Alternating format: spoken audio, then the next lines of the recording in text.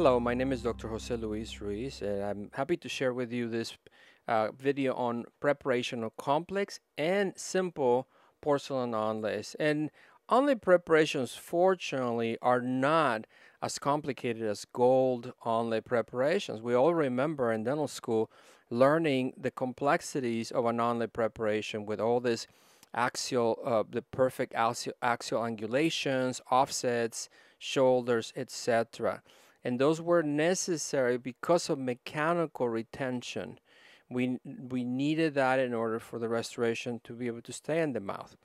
We live in a different time. We have different materials. Adhesion is the way uh, is the way of the future. The, the restorations, porcelain onlays, will be bonded with adhesive. So no longer do we need mechanical retention and that really simplifies the preparation very dramatically and it, not only simplifies the preparation it also allows us to preserve a lot of tooth so when we're going to prepare our onlay, we're going to use a, a, very simple armamentarium. You know, at the LA Institute, we have a burr block that is a, an all-purpose burr block. We don't need too many instruments. And you know, when you when you practice on a on a on a regular practice, you don't want to have endless amount of burr blocks and instruments because that just makes life a lot more complicated. So uh, we have a burr block that, that, that, does all what we need to do.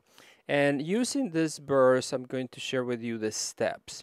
Um, the first step to make things very, very simple is to do a full to do an occlusal reduction. So that's usually going to be my first step. Sometimes we may choose to remove the old restoration first, but, but quite honestly, my preferred approach is to do occlusal reduction, restoration, and all. So we're going to do uh, the occlusal reduction.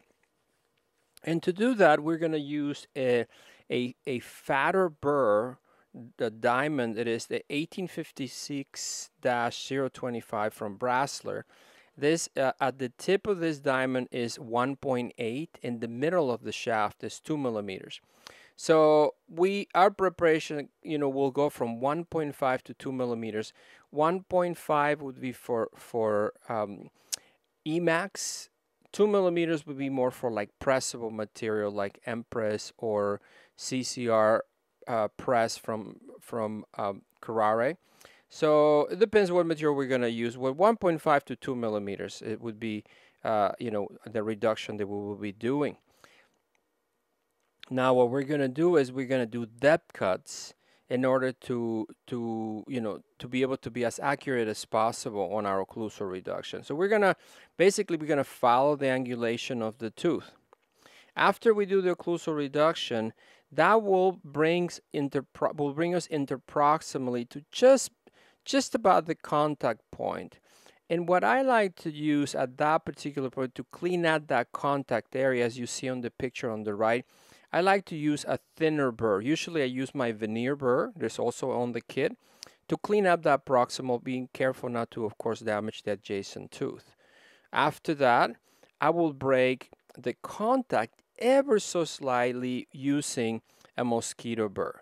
As you can see on this preparation, there is no boxes. Boxes are remnant GV Black, and GV Black is history when it comes to uh, adhesive restorations. Me boxes are necessary for mechanical retention.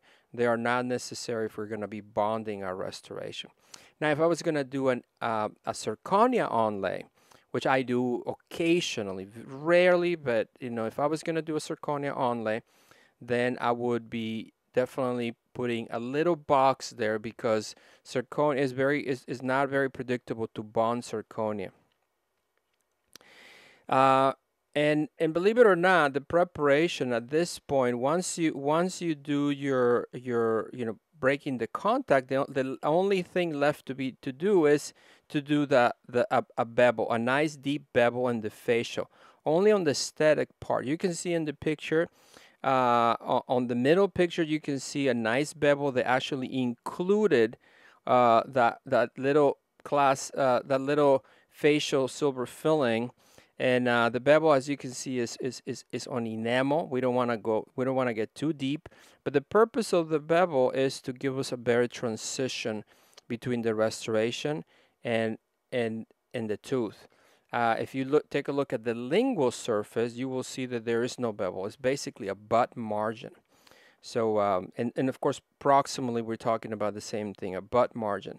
If you take a look also um, distal mesially, that we I have bro uh, broken the contact ever so slightly with the mosquito burr. Uh, we, we didn't make we didn't create a, a big separation, just a tiny separation, just sufficient for the laboratory to be able to uh, to, to see the separation and to create a restoration that's going to be beautiful and is going to be very clearly established. So the general rules for onlay preparation is uh, very important to stay supragingival, and that is one of the most important rules uh, when it comes to, to adhesive dentistry. The moment you go subgingival, you, you know, the cementation, the impression, everything is going to be, become more difficult. Of course, the health of the patient's gingiva will be more compromised. Everything will just go downhill. Staying above the gum is always the goal. Uh, rounded angles, we don't want sharp angles anywhere on the preparation. Uh, preserving enamel is such a desirable thing, and, and we're going to talk about that. Right now, we're we're basically talking about a, a, a basic preparation. Again, 1.5 reduction. On the transitional areas, if you look at your of your picture on the top, you will see that, that this particular preparation is a combination inlay onlay. Uh, and that in the isthmus where where the the inlay portion, the isthmus is breaks into the into the onlay section, you want to have at least two millimeters. You definitely in any of those transitional areas, you need two millimeters. You don't want to you don't want to be too thin because that's where they break. Now, full coverage onlay, in fact, mechanically is more desirable. But of course, if that's the case, then you end up sacrificing maybe healthy cusp. So it's your decision. I mean, you need to make a decision which direction you would like to go. I personally tend to do a lot of combination inlay onlays. But uh, in case of doubt, cover the cover the cusp. In case that you think the cusp may be not strong enough, cover them. Because you, the worst thing that can happen is you do an uh, uh, an inlay, then a cusp breaks, and now the, the, the whole thing is, is, is damaged. And then, of course, when possible, you want to keep the restoration under under compressive forces. Any axial reduction leads leads to shear forces. So when we are, so when we stay, you know, when we do a occlusal reduction and we avoid axial reductions, we are mechanically much more sound. So now I want to share with you a, a, a nice video that will show you the steps of a simple preparation. And uh, you see right there, what I'm going to do right now is you're seeing me do a, you know, using that, that the thicker burr, the occlusal reduction burr, you see me do depth cuts. And I find depth cuts to be very, very useful. And of course, cutting plastic teeth are kind of funny. As it's, it's, it's, actually it's easier to cut natural teeth. What you see me do right there is to do an occlusal reduction. I'm trying to uh, remove the, you know, remove a, an even amount around the, the occlusal surface. So we're going to, we're, now we're going to continue to reduce. We're going to carry that inter as close interproximal as possible, being careful not to damage the adjacent tooth. By the way, if you want to protect your adjacent tooth, uh, some people prefer to use so, uh, like a wedge guard or, or, like one of those wedges that that protect the adjacent tooth. That that would be an optional, you know, situation, and and it would definitely protect your adjacent tooth. So I carry my reduction as close to the to the proximal tooth as possible. I want to make sure that that is there is a, a two millimeter reduction right there. Then we're gonna do the facial reduction. It's gonna be exactly the same thing. We're gonna sink it all the way in. It's gonna be a two millimeter reduction, and uh, because it is plastic, you see that it kind of it kind of burns a little bit. Of course, it, that won't happen with your natural tooth. So we we continue to do occlusal reduction. Um, again, we're trying to carry it as close to the proximal tooth as possible without damaging the adjacent tooth. Now, what we, as you can see, what I'm doing is I'm using that that still the occlusal reduction burr, and I'm doing refining the occlusal reduction on the proximal area. I'm making sure that I have at least one and a half to two millimeters of occlusal reduction in that proximal area. Now, the next thing that I'm going to do is I'm going to create a slight breaking of the contact. When I do a two millimeter reduction, I'm gonna I'm gonna get the I'm gonna get the the con usually that that margin is going to be right slightly below the contact. What I'm using right now is a is a a, a little tiny um, mosquito burr that is breaking the contact. And as soon as I take the wedge out you're gonna see how it looks. You see how there's slight separation right there? Now we're gonna do the same thing on the distal side.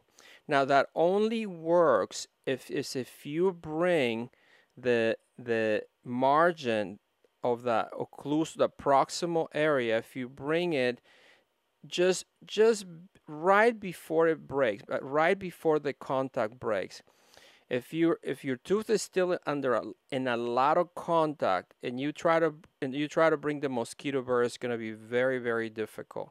So make sure that you drop that proximal margin sufficiently to be close to breaking contact but not quite breaking contact.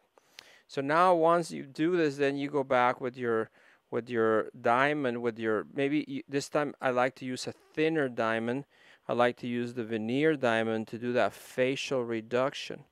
And you can yeah, that, that facial bevel. And you see, my intention is to do a bevel that is about two to three millimeters in thickness. Um, and and it's and it, the goal is to keep it within enamel. We don't. I don't want to make such a so much reduction that it, it goes into dentin because the goal is that, that that's going to be that's all going to be in in enamel. So when the porcelain gets bonded to the enamel, it's going to be ideal. So what I'm doing right there is I'm just taking the slivers off, making sure that it's nice and clean. Make sure that, that, that, you're you know very accurate on your on your movement, so you don't damage the adjacent tooth.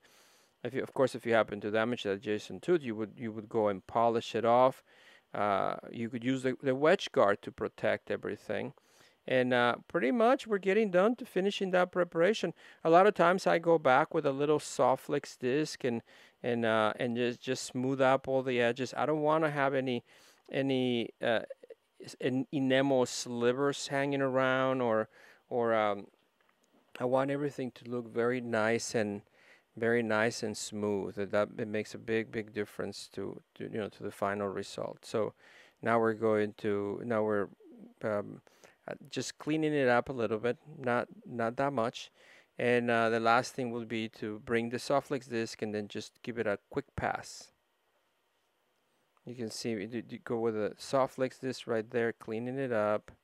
The Sof-Lex disc is just gonna get rid of the the the tiny bit of uneven, you know, enamel, and then that's it. Now we're gonna talk about a slightly more complicated situation. We're now we're gonna I'm gonna share with you a preparation that is more difficult, and this is where really uh, it requires or we require that we understand the five rules of supragingival preparations, and uh, and I will share those with you right now. So the first rule is really very simple.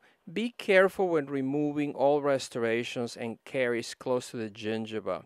It, this, this sounds so simple and so logical, but believe me, is very important. Don't, don't underestimate the power of using magnification and being very careful when we're removing caries close to the gum. As you can see on this picture, you could have you could have quite easily believe that that with this caries and the size of this caries, you would have gone deep below the gum. And if you if you have that in your mind and you start prepping, you're going to go below the gum. And as you can see, after all caries was removed, uh, I was able to stay above the gum. I have a, still a periphery of enamel, and uh, and and it really my experience has been very much like that. Often you you you start thinking, oh my goodness, this is gonna go deep below the gum, and if you're careful, you end up in situations similar to this one right here, where I preserve the the you know I, I stayed above the gum and then everything is a lot easier when your margins are above the gum now the the technique number two the supragingival technique number two is no boxes and this is basically a continuation of what we were talking about before because now that we understand that that the, all the retention is going to happen due to adhesion and not to mechanical retention boxes are necessary so it's very important. Please take a look at after these photographs right here are depicting, they're showing the after the occlusal reduction has been achieved interproximally as well. If you see after the two millimeter, millimeter and a half or two millimeter reduction, now we're we are just about to break contact, but we're still in contact with the adjacent tooth. And usually that's what I see. I see that they were almost ready to break contact, but, but the tooth is still is still touching the adjacent tooth. Traditionally, we would have kept dropping the box or dropping the margin until we break contact. What is the disadvantage of that? That in the real world, the more you drop the margin, the more the closer you get to the gum, the more chances you are to be subgingival. So instead of that, once I get close to breaking the contact, once I have enough occlusal space for my restoration, then instead of keep dropping the box, what I will do is I will use either a metal strip, which is pretty difficult in the posterior area of the mouth, although there are some some um, some nice strips that, that have handles. Uh, Brasseler makes one of those. Uh, the other companies make also strips with handles, so you could do that like a metal strip. Or, the, eh, or which is my favorite option would be to use a mosquito burr. And what I will do is, as you as you saw in the previous video, I will put a wedge guard, a, a little wedge that has a protection for my adjacent tooth, and I will pass the mosquito burr right in, the contact area, and it just breaks that contact in seconds. And you see, you saw that before. You will see that again on on our following video and it's, it's actually quite simple to do and it preserves you know everything super supragingival interproximally so no boxes because boxes are unnecessary you see that the separation is ever so slightly i don't need huge separation i just need enough separation now keep in mind that you do want to you do want to pay attention to the draw if your proximal margin is kind of kind of under the the adjacent tooth and you see that your restoration is not going to have a draw to go in, then you may have to alter the adjacent tooth. If it's a little, so if it's a little bulbous, you can uh, you can uh, adjust the contact on the adjacent tooth. So uh, you see right there, kind of like you know uh, a mistake. This is this is a mistake where where if we if we don't do sufficient ax a reduction, occlusal reduction interproximally, we end up having uh, making it very difficult for the laboratory to fabricate the restoration. So that picture right here shows uh, an improperly prepped onlay. The mesial portion of that onlay, as you can see, had sufficient occlusal reduction. It created the, the, the, the contact was broken right below the contact point and the laboratory was able to fabricate the mesial part of the onlay correctly. If you take a look at the distal part of the onlay, the preparation was too, the occlusal reduction was insufficient. Then, uh, then uh, our colleague here broke contact, uh, and but but did not give the laboratory enough space to to uh, to build that contact area. And now we're gonna have a restoration that's gonna have very weird uh, shape. So.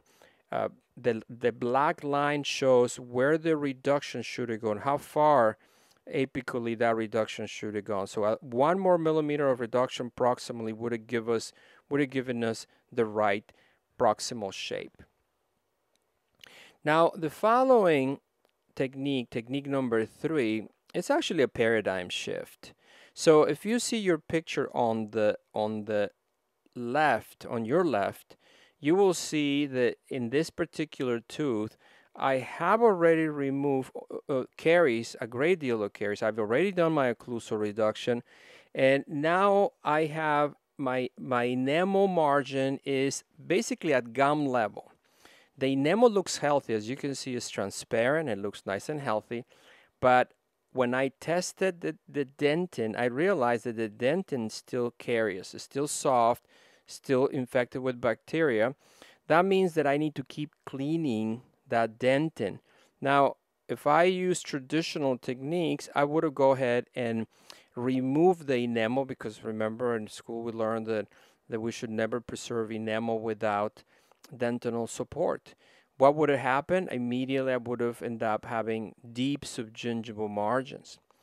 But instead of that, understanding the benefits of adhesive dentistry and how bonded composite will reinforce a full thickness of enamel, I preserve that, that full thickness of enamel, carefully re remove caries, and then after that, repair that enamel. You can see right there how the enamel has been properly repaired with composite, nicely bonded composite. Now, that allows me to preserve my margin just about at the gum level, not have to drop my margin, preserve my enamel so I have my enamel seal. From here, I will take my final impression and my restoration will be cemented on this complex, composite and enamel complex. It will protect, preserve, reinforce. So this thing, I've been using this technique for many years and it works phenomenally well. Uh, this is basically understanding our materials and using our materials for our benefit. The following technique is technique number four, and that's margin elevation. Margin elevation is is a, a, a, a, the next level when you have a margin that in fact is below the gum and you know that if you prep below the gum and you leave your margin below the gum and then you provisionalize you know what's going to happen? You're going to have a nightmare of a situation the day of the cementation. And that that tends to be a big problem. Like right here you can see the consequences of doing that. This is in fact a a dentist who came to my office asking me to, to cement an onlay that she had had cemented by another colleague three times. And the onlay kept falling off. And guess why? Why do you think it kept falling off? Because the margin was below the gum, uh, a good two millimeters. Uh, trying to control the bleeding in that situation becomes incredibly difficult that you know you're you're applying your bonding your your etch your bonding you're just about ready to see the restoration and the gum starts bleeding, it is a very difficult situation. So that's why the enamel elevation or the, the margin elevation techniques were developed. Uh, we, we will place a matrix band right there. We will use double wedge technique so that we can really isolate that isolate that margin and then we can elevate our margin appropriately right there you can see uh, one example using a, a, you know traditional Toffer matrix band right there. Another one you can see the Garrison um, ring being used for the same purpose. The intention is that we're going to bring the margin that was below the gum, we're going to bring it to just above the gum, and we're going to take our impression.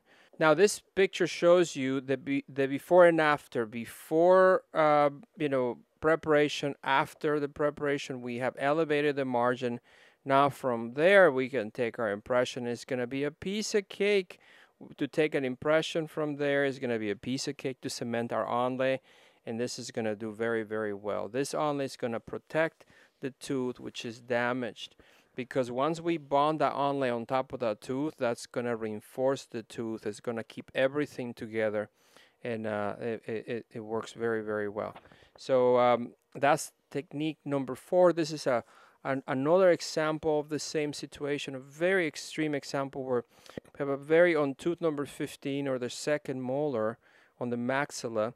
We have a very deep subgingival caries. Uh, we, we're gonna in this particular case one more time we're gonna use that that technique that that margin elevation technique. Um, you can see right there that, that after the margin elevation and and very important if we're going to use this margin elevation technique we need to make sure that we take an x-ray before we take the impression because you never want to have margin elevation and have have an open margin on your on your you know on your build-up or your margin elevation procedure, you want to make sure that it looks beautiful, nicely sealed, because that is going to support your final restoration. So uh, after that, we take an impression. We're going to inform the patient that this is a little bit of a, you know, this is a compromise. Of course, ideally, we wish that the patient would have brought us a a restoration that was, I mean, a tooth that wasn't so badly damaged. Uh, the patient brought us a, a, tooth, a tooth that was pretty badly damaged, and now we're trying to be heroic and save it. And this is one of the options that we have to do it. And right there, you can see the the clinical photograph after the margin elevation. I will take an impression from there, and then you can see uh, the cemented restoration uh, with two two margins. One, you know, below the gum that is you know with composite, and the one you know two millimeters above that that is porcelain. And those restorations do very very well. I've done and many many of these restorations and, and they, it works really good. You always need to let the patient know that this is a compromise. I mean anytime you have a margin that deep below the gum it's, oh, it's going to be difficult whether you're using traditional crown or you're doing uh, crown lengthening or you know whichever technique you decide to do to manage this particular problem is going to be complicated and the patient should know that and and you you need to give the patient you need to get an informed consent from the patient so they understand what they're getting. Now i want to share with you the a difficult situation. So this is the video of a tooth that has lots of caries. This is this is going to be a, a, a complicated preparation. But nevertheless the technique is still the same. We're still going to do occlusal reduction first we are going to sink a burr fully and then we're going to start uh, you know extending and and extending that reduction mesial and distally. Make sure that it's consistent. That the the reduction on the cusp on the slopes is the two the the the full one and a half or two millimeters. And again remember I, as i said before it would be one and a half if it was emax. It would be two millimeters if it's uh if it's pressable. Um, so, and usually interproximally, I would say in the mesial and distal tends to be more towards the two millimeters than the one and a half. Uh, one more time, we're sinking that, that burr fully right there. If we sink the burr fully, we're basically prepping about 1.8, uh, a 1.8 reduction. So we're sinking it all the way, and then we're going to join all the all the uh, the dip cuts together. That will give us our even reduction. And as you see right there, we just you know nicely bring it into the proximal area. We want to do it carefully so not damage that adjacent tooth. Now we're doing the, the distal part, bringing it as close to the proximal area as possible. Of course, you're always you you can always grab a one of those uh, wedge guards and protect your adjacent tooth if you're if you're concerned about damaging the adjacent tooth. So after I did you know that on after I did the full occlusal reduction, I I tend to start then I start removing my caries and in this particular tooth. All, all the all the black that you see right there in the middle of the tooth, all of that is fake caries. So we remove a ton of caries, as you can see right there, and um, this would be a pretty rotten tooth, or maybe a tooth that had a huge amalgam or huge composite that has failed. And now we're, we continue to remove the caries. As you can see, the facial cusp is pretty badly undermined. Uh, the the proximal area is, is pretty deep interproximally. The caries goes very, very deep. Uh, this this is a case where we were almost below the gum, uh, but if we are very very cautious, we can possibly preserve the margin just barely supragingival. In case the, the in case that the margin in fact goes below the gum, we may consider doing a margin elevation procedure. Now, in this particular case, uh, you know, we were able to to could carefully remove the, the caries in the cervical area and not go below the gum. So if we don't go below the gum, or we're just about gum level, or maybe less than a half a millimeter below the gingiva, I will do I will not do a margin elevation. If I'm half a millimeter below the gingiva, I tend to just uh, it's easy to manage when the margin is less than half a millimeter below the gingiva. It becomes very difficult as we get deeper and deeper in, in the gingiva. So con we continue to remove the caries. This is again a pretty rotten tooth. And, um, and as you can see, the tooth gets less and less. Now the distal part of the tooth, like in most of our situations, you have what part of the tooth that is badly damaged, but you have part of the tooth that is pretty healthy.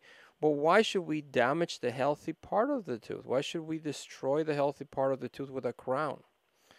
Save that healthy part of the tooth, repair the caries. You see how I'm continue to um, continue to undermine the the, the, the buccal cusp, and um, you know the, the the enamel is pretty complete, but now we're almost we almost have uh, you know the the the mesiobuccal cusp with a, a, full thickness of enamel, but almost no dentin so to support it. Uh, so now, of course, what we're going to do is we're gonna do we're gonna repair that weaken that weakened area, and uh, we're we're you know we want to make sure we have a full thickness of enamel, that the enamel looks healthy and it's not fractured, that everything is, is, is nice and, and complete.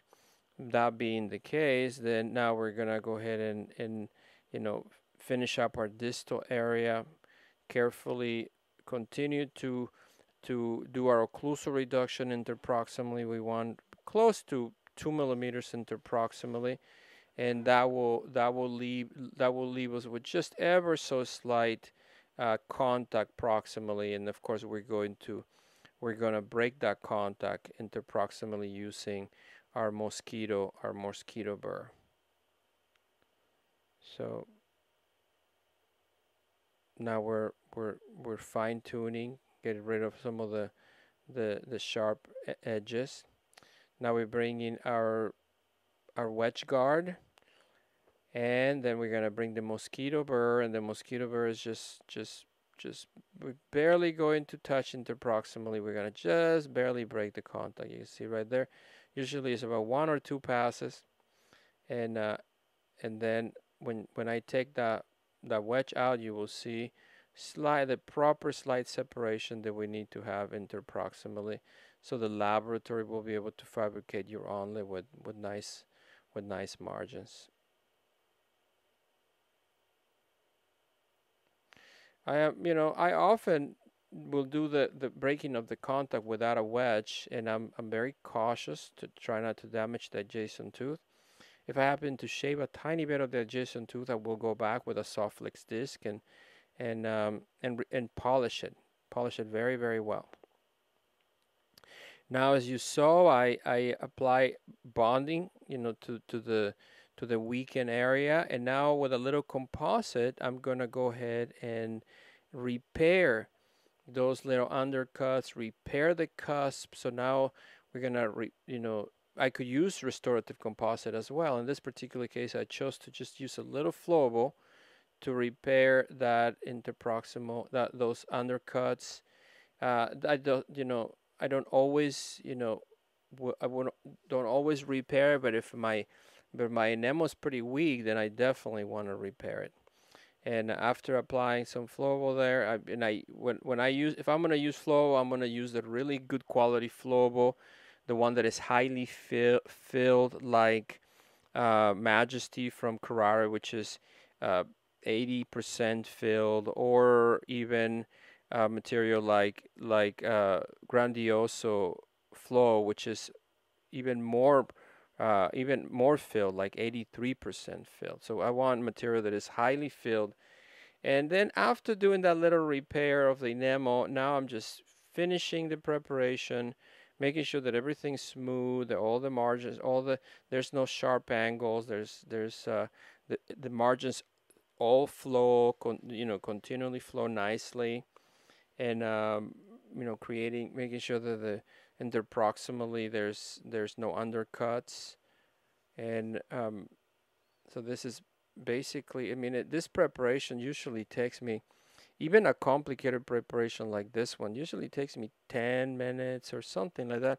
If it's a simple prep, I mean, literally an onlay prep is probably like a five minute type of thing. And and we're not talking about doing a, a, a poor quality preparation. We're talking about very well done preparation. The the, the, the, the key is the the technique is that you know onlay preparations are simpler, and um, you know we don't need to we don't need to make it we don't need to over overcomplicate this technique. Now you see me do the bevel. Now again, I want a, a, at least a two millimeter bevel, maybe three millimeter bevel. And if you see, I'm I'm gonna stay within enamel. I want to make sure that the the you know the the that bevel is fully on enamel. I'm not concerned about the porcelain being thin there because it's going to be bonded to to to enamel and and quite honestly that I I find that those preparations you know they I've never seen those those margins break. Well, that was a simple preparation as you can see and of course also a complex preparation. Thank you very much for your time. Thank you for watching and until the next time.